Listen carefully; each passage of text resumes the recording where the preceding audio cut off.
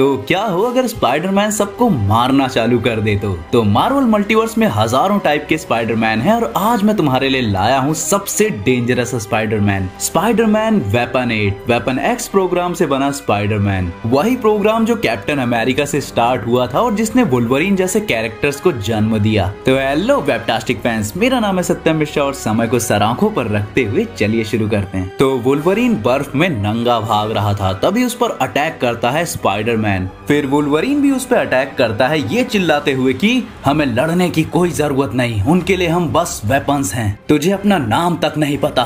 तो स्पाइडरमैन उसका जवाब देता है मुझे नाम की कोई ज़रूरत नहीं। मैं जो करता हूँ, उसमें मुझसे बेटर कोई नहीं है। वोल्वरिन कॉन्फिडेंट था कि स्पाइडी उसका कुछ नहीं बिगाड़ पाएगा, पर स्पाइडी अपने आर्म से उसे हवा में लटकाता है और उसे ज़िंदा जलाना चालू कर देता है। वो उसे तब तक जलाता है जब तक उसकी स्किन पिघल नहीं जाती और उसकी हड्डियाँ दिखने लग जाती हैं। स्पाइडी वापस अपने बंकर में जाता है, जहाँ उसका कॉलोनल उससे एक स्पाइडर रोबोट के ज़रिए बात कर रहा था। पीछे से एक साइंटिस्ट बोलता है की कॉलोनल, ध्यान रखना, ये वेपन्स की प्रॉब्लम्स ऐसे ही स्टार्ट होती है। स्पाइडी उनसे अपना रियल नेम पूछता है और सब टेंशन में आ जाते हैं। स्पाइडी समझ जाता है कि यही है जो बाकी वेपन्स के साथ हुआ था। वो ज़्यादा क्यूरियस हो गए, उनका दिमाग खराब हो गया और वो रोग चले गए, जिसको मुझे मारना पड़ा। तो वो साइंटिस्ट स्पाइडी को डिस्ट्रैक्ट करने के लिए उसे नेक्स्ट मिशन दे देता है। वेपन वन यानी स्टीव रॉजर्स को मारने का। वो बोलते हैं कि स्टीव रॉजर्स ने सौ सालों तक खुद को हमेशा बचाया है। एक हीरो बनने का नाटक करता हुआ, पर वो अपने जैसे सोल्जर्स को एक बुरा नाम देते हैं, क्योंकि वो ऑर्डर्स नहीं मानता और अपने मन की करता है। पर पीटर के दिमाग में अभी भी वुलवरीन की बात चल रही थी।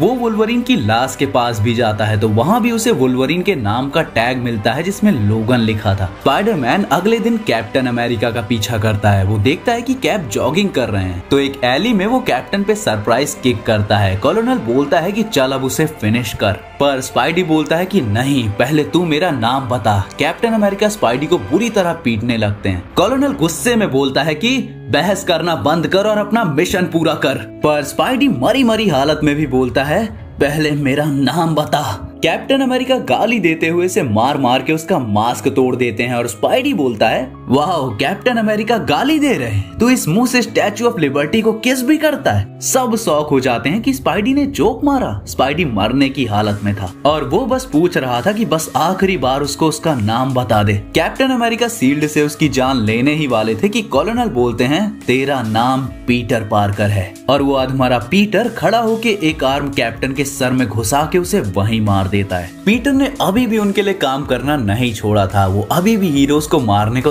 तैयार था, पर वो अपने नाम और अपने पास्ट के बारे में सोचने लगा था। मतलब जल्द ही वो इनके अगेंस्ट जाएगा। तो ये 2024 की एज ऑफ़ स्पाइडरवर्स का फ़र्स्ट इशू था। जिसमें हम इस unique weapon eight Peter Parker से मिलते हैं। तो तुम बताओ कि तुम्हें क्या लगता है सोनी को ये इधर उधर की फिल्म्स बनाने से अच्छा ऐसा यूनिवर्स पे सोलो मूवीज़ बनानी चाहिए, जहाँ हर मूवी हमें स्पाइडरमैन का एक अलग वर्जन दिखाएगी, कुछ डार्क तो कुछ फन कैरेक्टर्स दिखाएगी, और चाहे तो फ्यूचर में इनका क्रॉस ओवर भी करा सकती है। तो तुम्हें ये आइडिया कैसा लगा कॉमेंट में ज़रूर बताना, और बाकी तुम्हारे मन में भी कोई प्लान है सोनी को बताने के लिए तो वो भी ज़रूर कॉमेंट कर देना।